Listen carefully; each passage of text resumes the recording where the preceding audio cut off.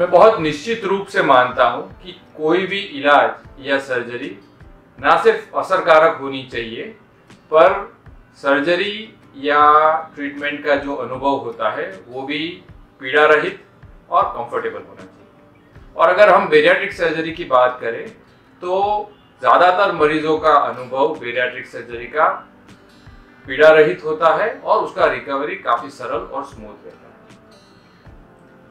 वैसे भी bariatric surgery के बाद दर्द ज़्यादा नहीं होता है, क्योंकि ये सर्जरी लेप्रोस्कोपिक मेथड से की जाती है।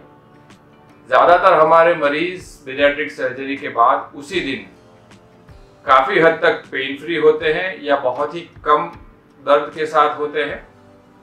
ज़्यादातर हमारे मरीज़ ऑपरेशन के ही दिन कुछ घंटों के बाद बिना ज़्यादा तकलीफ़ के बिस्तर से निकल के चल फिर पाते हैं, खुद ही वॉशरूम जा पाते हैं। और पेन किलर दवाइयों की ज़रूरत भी काफ़ी हद तक कम होती है।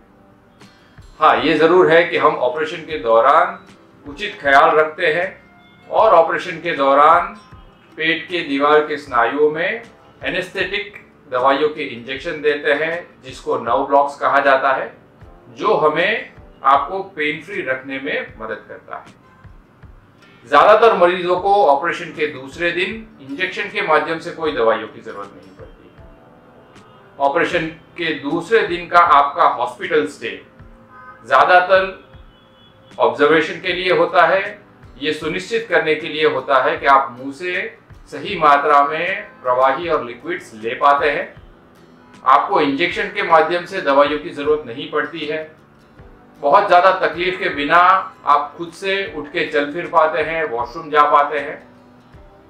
और एक बार इतनी चीज़ सुनिश्चित होती है, जो कि ज़्यादातर मरीजों में ऑपरेशन के दूसरे दिन हो पाती है, तब आपको हॉस्पिटल से डिस्चार्ज किया जाता है। डिस्चार्ज के समय ज़्यादातर मरीज़ ऑलमोस्ट पेन फ्री होते हैं, उनको इंजेक्शन की कोई ज़रूरत नहीं होती है, खुद से ही उठ के चल फिर पाते हैं, वॉशरूम खुद जा पाते हैं और खुद का ख्याल रख पाते हैं। छुट्टी के समय पे आपको चलने फिरने की या सीढ़ियाँ चढ़ने पर हमारी कोई मनाही नहीं होती है।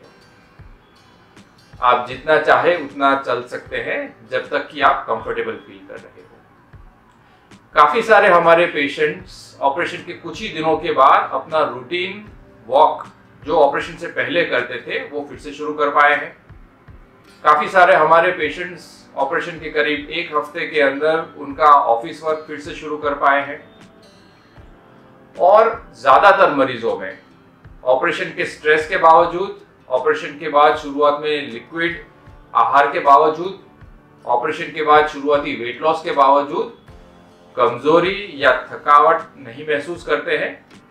ज़्यादातर मरीजों का अनुभव होता है कि वो ज़्यादा फुर्ती और ताकत महसूस करते हैं। हाँ ये ज़रूर है कि हर एक इंसान का और हर एक मरीज़ का रिकवरी अलग होता है।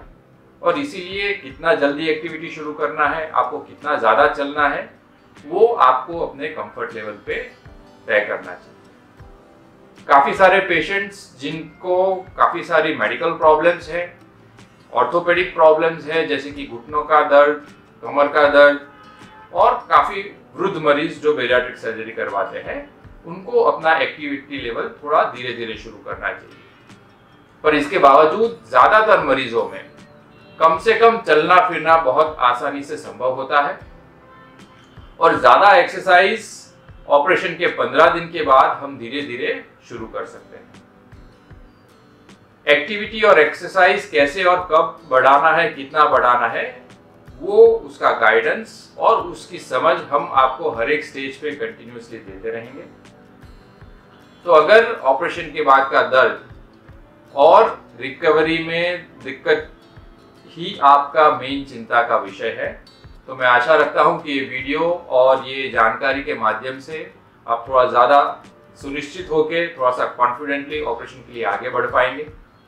मैं ये भी आशा रखता हूँ कि आपका बेरियाट्रिक सर्जरी और वेट लॉस का जर्नी पीड़ा रहित हो कंफर्टेबल हो और ये ऑपरेशन के माध्यम से आपके लाइफ में काफ़ी ज़्यादा अच्छे बदलाव आ सके।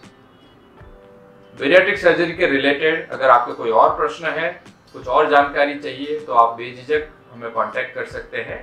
आपको गाइड करने में, आपको मदद करने में हमें बेहद खुशी होगी।